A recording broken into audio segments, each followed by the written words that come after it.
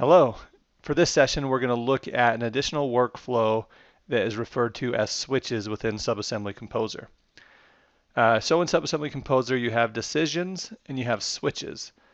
Uh, decision is typically used for just two conditions. So uh, an if condition, you know, if it's a cut, do this, if it's a fill, do this type of scenario. But a switch can be used for more than two conditions. It can be used to add up to 11 geometry options um, and it all depends on the result of an expression that you can simplify. Uh, the good example of that would be maybe different curb and gutter types. So let's say you have a type A, B, C, D, E curb and gutter without uh, having separate subassemblies. You can simply put that in uh, your subassembly in Subassembly Composer and switch that out easily inside Civil 3D. Uh, the example we're going to look at is a valley gutter that has multiple options within. So I'm going to first jump into Civil 3D and show you what it does and how it looks, and that'll make more sense once we look at it in Subassembly Composer on how it all comes together. So let's jump into Civil 3D and take a look. Okay, so I'm here in Civil 3D, and on my tool palette, I already have the subassembly added. So what I'm going to do is create an assembly real quick. So just assembly, create assembly.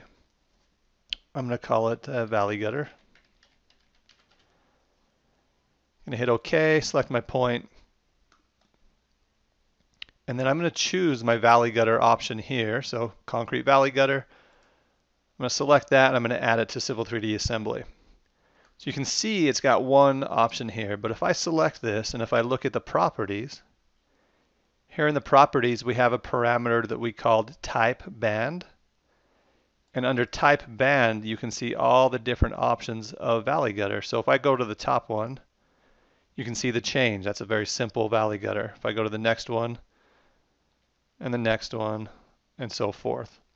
So you can see all the different parameters, all the different types of subassemblies you can have within the one item just by using a switch in Subassembly Composer.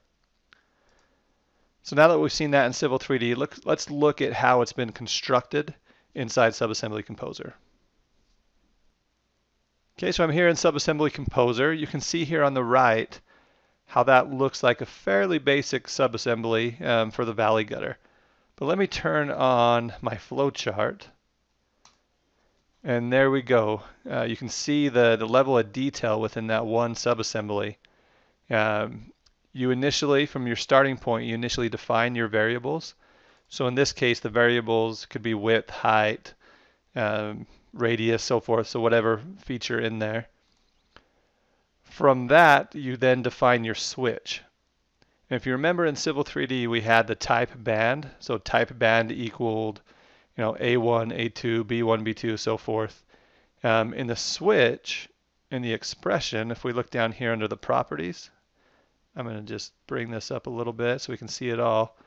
You can see that it's a simple expression. It basically says if you select E1 in the type band equal E1 for my subassembly. So we've started it, we've defined variables, we've done the switch, and then each one of these are a sequence. So you can see here the B2, D2, E2. Those are all a sequence, and all a sequence is, is those variables in different heights. So let's just take a look at a couple of these. There's the flow chart different height variables. Okay, so easily defined. Um, that may look a little complicated, but you can see here with just the use of a switch how having multiple subassemblies within one can be a valuable tool within Civil 3D.